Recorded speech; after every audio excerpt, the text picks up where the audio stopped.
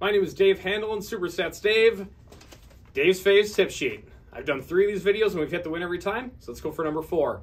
My play of the day on Sunday is race number three, number two, St. Serena.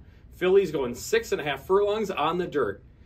Mike Biehler trains, Constantino Roman rides. This is leg three of the 10% pick four, leg one of the pick five.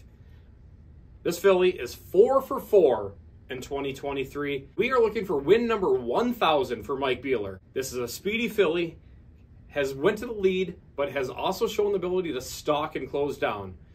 I think this race sets up well. We're going to play that as the play of the day. St. Serena, number two. We're going to get a little crazy underneath. We're going to play an exacta with number seven, Free Britney, underneath. We're going to walk up to the teller and we're going to say, hit me, baby, one more time. And we're going to hit that and hit that and hit that again. The St. Serena over Free Britney exacta with St. Serena winning. Let's go.